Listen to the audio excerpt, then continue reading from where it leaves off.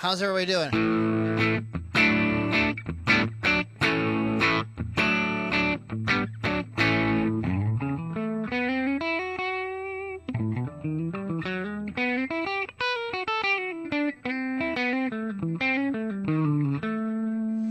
I want to talk to you guys today about picking. I uh, affectionately entitled this video Confessions of a Picking Marxist. Not Nazi. Not like overused. So I'll go with Marxist. Um, when I started teaching guitar lessons, one on one guitar lessons, back in the 90s, I one of the things I was very known for, uh, you know, being very strict about was how you would pick the guitar. Um, I was uh, very stickler for a certain way of holding the pick, a certain way of holding your hand on the guitar, a certain way, just very, and, and I would like, you know, bust students over and over and over and over. No, it's not. Don't hold the pick like that. Stop holding the pick like that. Don't hold the pick like that.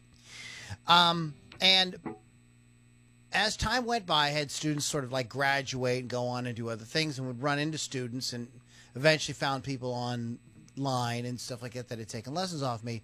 And you know how many of my students pick the way I pick? Zero. None of them pick the way I pick.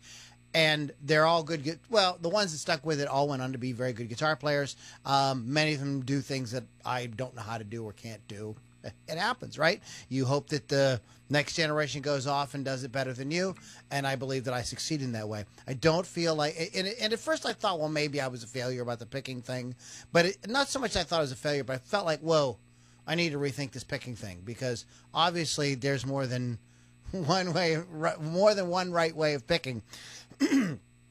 and as I got, uh, as YouTube really kind of exploded and I was able to you're able to now watch you know these videos people with their zoomed in on their hands you can see what they're doing.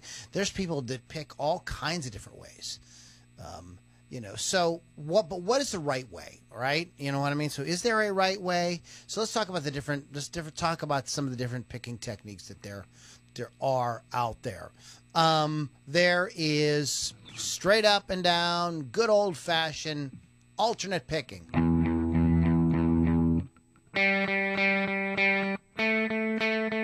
Down, up, down, up, down. Or if you want to get fancy, up, down, up, down, up, down, up, down. Um, right? Just.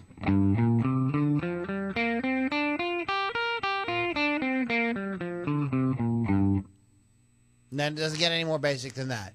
There is sweep picking, right?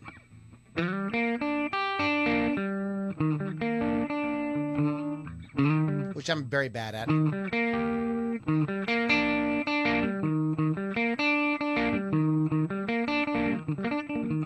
There we go. I just wasn't warmed up. So you know, the, and that is that's done for for specific thing, like playing a, a, big arpeggio like that. There's economy picking, which simply means that um, if you are going down, you want the next one. If you're going to the next string, you want the next string to be a downstroke. If you are um, going up, I should. If you are going uh, from the skinny strings to the thick string, from the first string down to the sixth string, say to say, so to speak, or uh, as an example, you would want to. Um, economy picking would say that. So if you're picking, uh, you see, so you, you end on an up. You want the next one to be an up too, because you're going to the next string. I don't know if that makes any sense. Uh, so, for, for instance, this would be.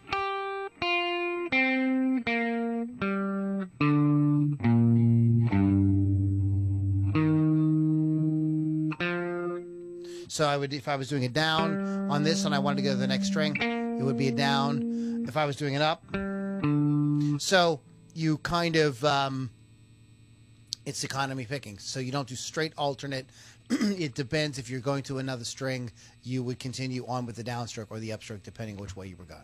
Say it simple. I'm making it too complicated there.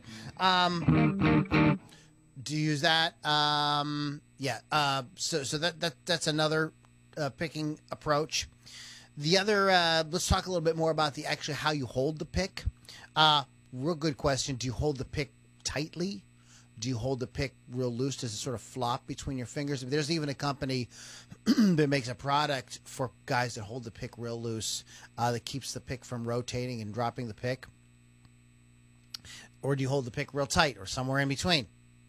There is um, slant picking which uh, uh, if you want to know more about more in depth uh, discussion on slant picking, search Troy Grady on YouTube, and you will find it's like the Encyclopedia Britannica of slant picking. But um, do you you know so do you slant pick? And what slant picking means is as you're as you're going from one string to the next, do you slant the pick? So you're going to kind of create a kind of this thing right here. You, here's the say this is a string, and you're going from the next string. You're going to go like this. So you're going to sort of slant the pick this way. If you're going this, if you're going from the high strings to the low strings, you slant the pick the opposite direction. There's up slanting and down slanting, and the, that facilitates getting in and out or between the strings a lot easier. but another way of doing that is edge picking, where you treat the, what you do is instead of coming down flatly with the pick, you come down with the edge of the pick. Hmm. So, what is the right way? Wow. Um, do you do you rest the hand on the guitar when you pick, or do you, or are you more free floating? Hmm. What do you, how do you palm mute? How do you tremolo pick? What should you do? The right way, the short answer to all of those questions is yes. You must learn. Oh, and uh, the one of the picking styles I didn't mention was Travis picking. You know that incorporates. You know, there's the times when you incorporate the fingers. I cheat, and I I make no bones about it. I believe that you should pick the way you need to pick for whatever you're doing, and I cheat. Sweet child of mine. I play that with, with Travis picking, hybrid picking, whatever you like to call it, where I incorporate the fingers along with the pick. So the right way to pick is whatever you need in the moment, which means you should know how you should know about all these techniques. Um, feel a little stupid that I messed up that sweep.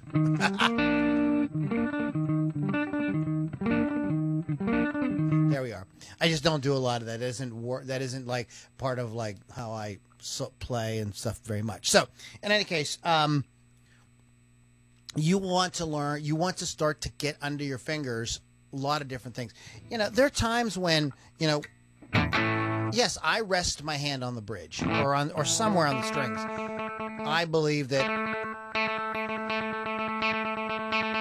um for the most part, that's that's how I generate. If I'm going to pick, if I'm going to do like a solo where I'm going to do a lot of like single note picking and things like that, I kind of get settled in, and I have a sort of pick uh, uh, way I hold the pick. I co- I combine slant and edge picking depending on what I need to do, and Travis picking as well. So I've got them all going on, but.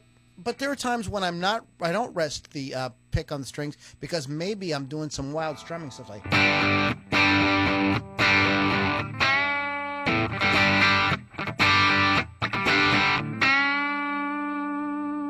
So I went. I'm not. I mean, my hand isn't even on the guitar uh, for that. Um,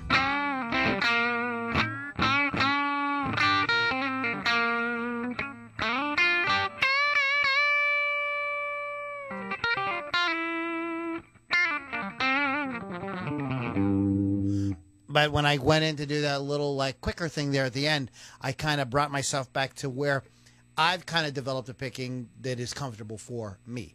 Um, uh, sort of a funny note is one of the things that really kind of like got me like out of my sort of uh, very regimented this is how you must pick thing was watching Marty Friedman. Um, I, I often joke that you know if Marty Friedman had been my student, you know I'd have been like yelling at him all the time about his picking because he picks like this. He holds he he uh, brings the hand around the front of the guitar and and holds the pick like this like I can't even imagine how you would even pick like that. Like what the hell is that? But he makes it work. So that is the key. Do can you make it can you make it work? And you will find what feels. Everybody's body is shaped a little bit different. You know, nothing on our bodies is completely symmetrical. No two people are identical. So it could be the way it's comfortable around his, for his shoulder or whatever. Who knows? Um, there are many styles of picking that incorporate uh, Travis picking or finger or just using the fingers. Both Jeff Beck and um, uh, Mark Knopfler don't even neither one of them use the pick. Um, Rich, uh, Richie Kotzen, Kotzen, Kotzen doesn't doesn't doesn't use a pick, and he still gets that great attack. You know, just using his fingernail and and you know uh, the, the, the side of the thumb and things like that. So there is you're going to want to play around with different things. I went on a quest um, starting a couple of years ago, and uh, when I realized that I was really struggling with my picking, I was like, you know, my picking is shitty, it's sloppy, and I was relying on a certain pick that's another thing. You know, what pick do you use? I was relying on a certain certain kind of pick because I was doing edge picking, and if I didn't have that certain pick, and I'll just tell you what it was, it's the regular Jazz Three, uh, or it's the uh, Jazz Three XL, the thicker one. Not the one. The one I'm playing now is a Jazz Three XL, but this is the um, one that's made with the sort of fender type pick uh, material. I'm talking about the ones that are made out of the other material, the rougher material that have the beveled edge. And those picks actually are really good for edge picking. You still get a good attack, and the notes will pop out real nice if you want to if you want to use something like that. Um, let me see. I have one right here. Um, nylon, nylon stubby. But uh, these have a um, I don't know if you can even see this on the camera, but the edge of this pick, it's a thick pick, and it's beveled, um, where the um, the edges of the pick are, are kind of like offset. The sides of the pick are a little bit offset. There's like a one of these. So what it does is it allows you when you do edge picking.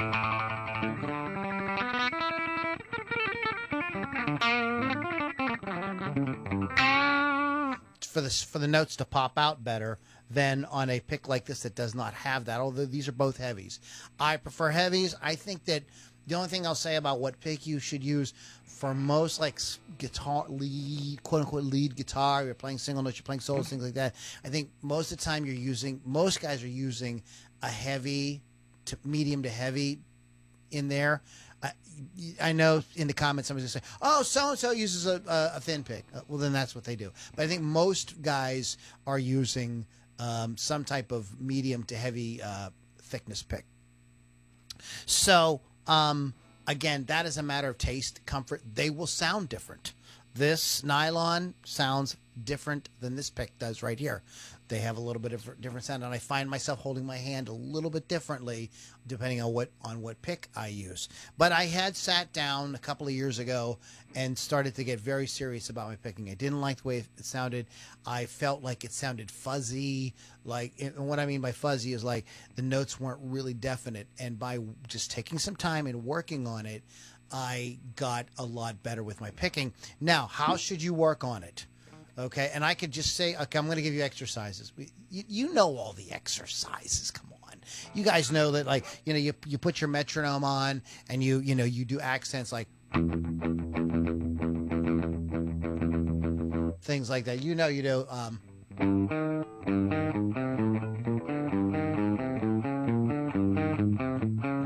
get the you know going from string to string. You know, you you guys. I don't need to tell you to do. Even just practicing, you your pentatonic scale is, you know, that's a totally legit, you know, whatever. Um, but how you the, the the bigger the most important thing that you can do and you should do this of course with everything you do but we're talking about picking taste really examine what you're doing. When you play something and it comes sounds out really good you know well wait a minute what was i just doing there? Was was i was i holding the pick a little bit different? Was i doing something for my uh, different with my hands? Um, was i bringing the was i bringing the motion from the forearm or more from the wrist? Again the answer is yes. You're going to, you will, you incorporate the forearm, you incorporate the wrist, you even incorporate finger moves, small finger movements as well. Uh, but I really sat down and I just started to really just pay very close attention to what I was doing with the strings. Um, and I just kept on moving that pick around in my hand until I found. I found my um, way of doing it that just works for me most of the time. Also, don't confuse problems that aren't picking. Yeah, because there's some problems that you're having with your technique. I guarantee that you might think are picking and they're not necessarily. A, a, big problem that and i run into this if, with myself as well is hand synchronization. And it's one thing to get hand synchronization uh, together when you're playing right on the downbeat you know. You know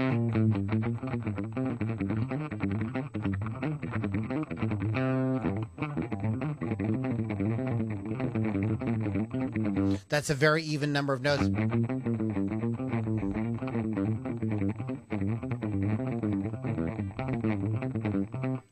Um, but when you're doing hemiolas, which means when you are playing an odd number of notes, a repeating pattern with odd number of notes, or you're phrasing on the upbeat, hand synchronization can be a real problem. Uh, this isn't a video about hand synchronization, but it can make you think that your picking isn't together when really your picking is fine. It's not the picking; it is the synchronization, and you have to work on this on that on that type of phrasing. Uh, but anyways, so that's it, guys. It's just a matter of yes, use all of the stuff. Use all of the tools. Um, there are guys I know that drive, drive themselves crazy because they have to pick every single note. And if they're playing, um, you know, some type of uh, scale pattern or some type of uh, line that they really like, and they're putting a couple of hammer on, they're doing a couple legato things because you know they're, they're getting tripped on the up on the pick. So what? So freaking what? You know, you're that stuff is going by so fast, nobody's hearing it. You know, I mean, if you want to practice that stuff because you're trying to, you know, you're trying to get your picking better, but if you can play some awesome stuff and you incorporate a combination of the different picking styles with your legato or whatever, fine. You know, if you've got a Travis pick something because he just can't quite get that note, um, you know, but but Steve Vai can get it. Well, he's Steve Vai, all right. Steve Vai practices, you know, a gazillion hours a day. You know, this is this is why this, is why my my lessons are called the practical guitarist. Okay, because that's not practical. So the best thing to do, the shortest uh, um, route uh, to get to where you want to go with your picking is to get comfortable with a lot of different ways of picking and use what you pull out of the toolbox, what you need when you needed. Uh, there is some links in the description, uh, LouLombardiRocks.com. That'll give you access to some uh, some goodies that I have and some freebies and things like that, as well as keep you up to date about. We have a, a great lesson program for you there that. Uh, that just focuses on practical stuff on the guitar. I hope you guys enjoyed it. Please leave comments feel free to reach out to me with any questions. Uh, that's, what I'm here for. My name is Lou Lombardi. Again, you want to go to loulombardirocks.com, guys. It, uh, thanks a lot. Have a great rest of the day.